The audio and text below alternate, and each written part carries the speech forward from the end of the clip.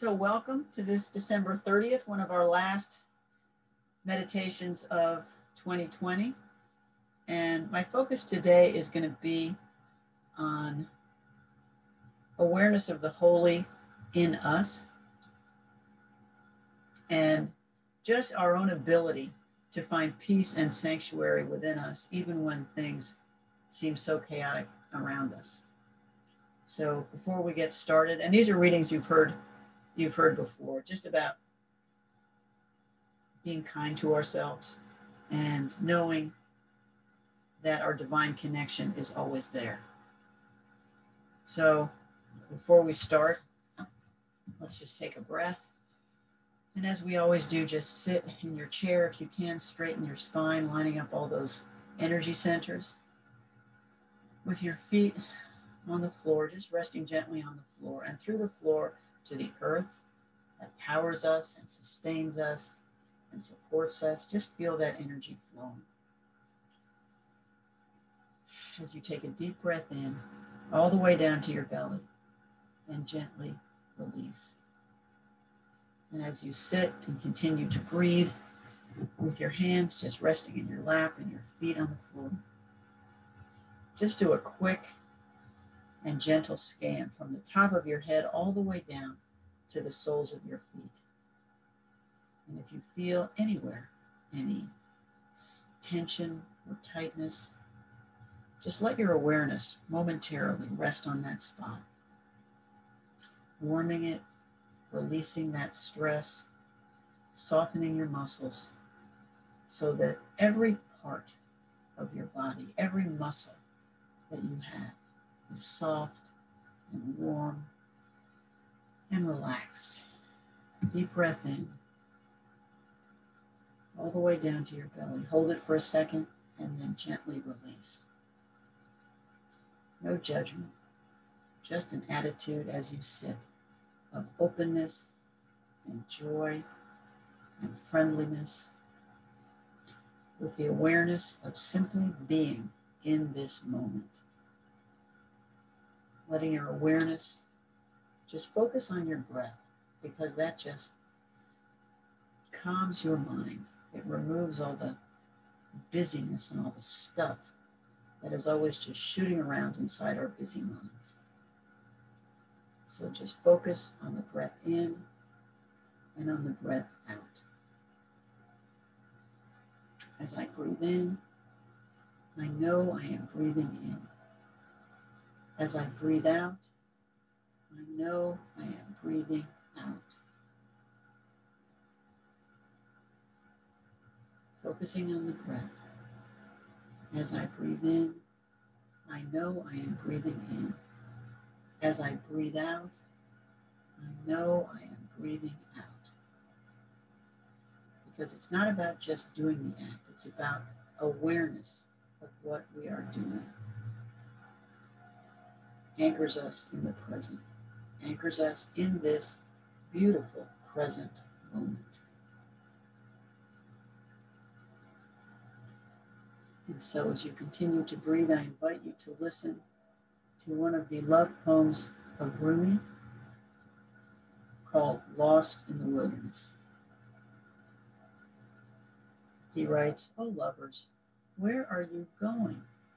Who are you looking for? Your beloved is right here. She lives in your own neighborhood. Her face is veiled. She hides behind screens calling for you while you search and lose yourself in the wilderness and the desert. Cease looking for flowers. There blooms a garden in your own home.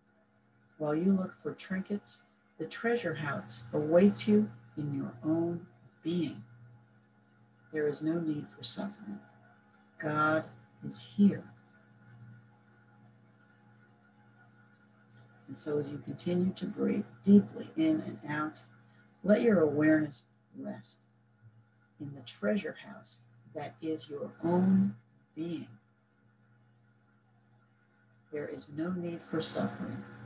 God is here.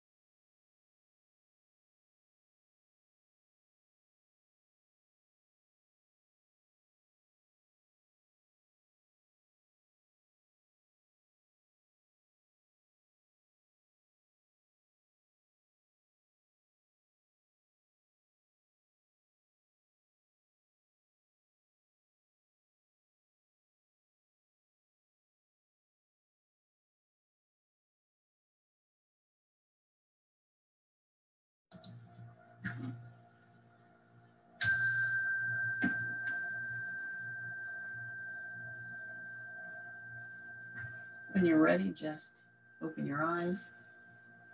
Take a couple deep breaths. Move around in your chair and stretch and smile.